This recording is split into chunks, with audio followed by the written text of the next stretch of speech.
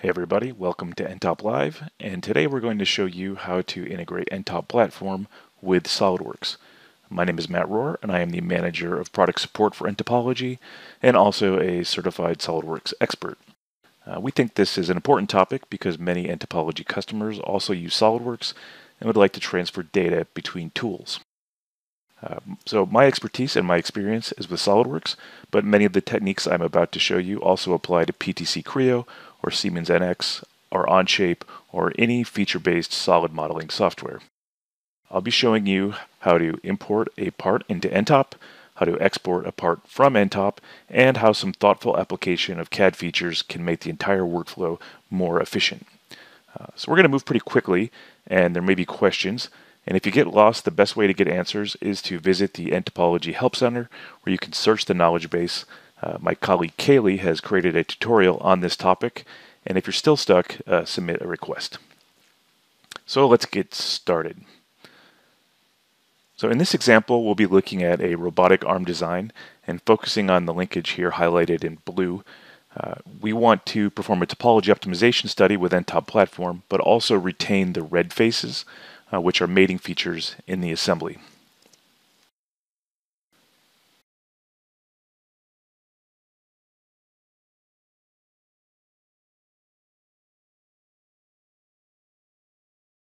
So first we're going to look at how to import parts into N-Topology. Uh, we're simply going to add the import part block and select the file. And notice how we support uh, several CAD formats, including native SOLIDWORKS, CATIA, and Creo, as well as STEP eh, or Parasolid.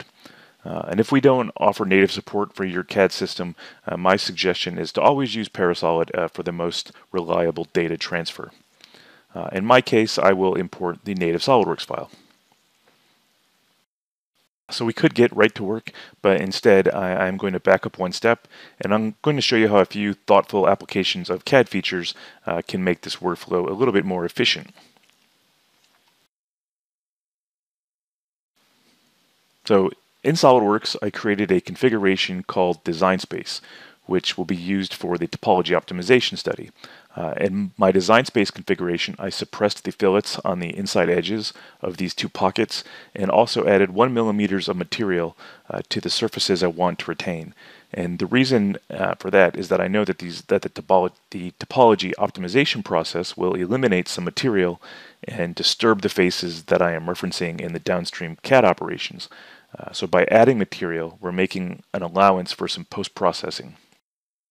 And for demonstration purposes, this time I'm going to export a Parasolid file and I'll update the link in NTOP platform. Uh, so we can see that we are maintaining associativity between NTOP and SOLIDWORKS even with that added step of creating a Parasolid. So uh, this presentation is going to focus completely on the integration between NTOP and SOLIDWORKS and uh, even though we are going to perform a topology optimization study. Uh, so if you want to know more about topology optimization, again, uh, go to the Help Center uh, and there's a lot of excellent content. Here is a walkthrough from my colleague Annika.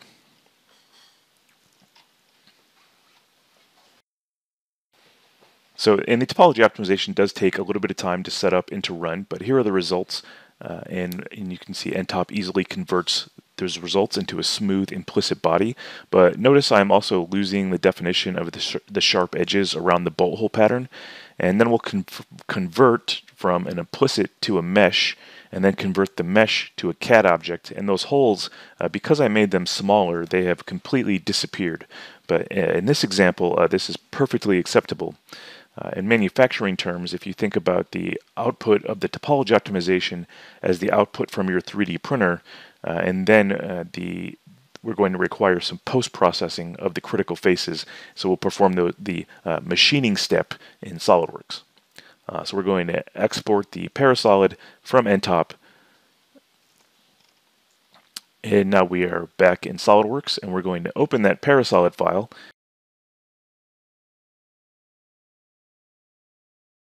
Uh, the SOLIDWORKS import diagnostics does find one faulty face here, which we can repair, and then we're going to save that file.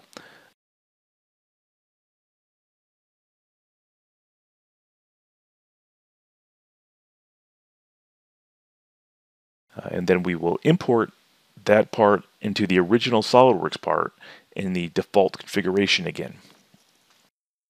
Uh, so you can see that we have some we have multiple solid bodies and I'll use the SOLIDWORKS intersect feature to combine these two objects and then the delete face tool to clean up some artifacts to create the final piece. Uh, notice the faces in red are the same faces that we used in the beginning of the exercise.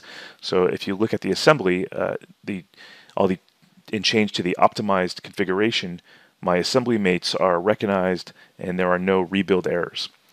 Uh, so this part is fully is fully functional with SOLIDWORKS. Uh, I can even perform additional modeling operations. I can create renderings, I can create drawings, uh, or I can even create this motion capture.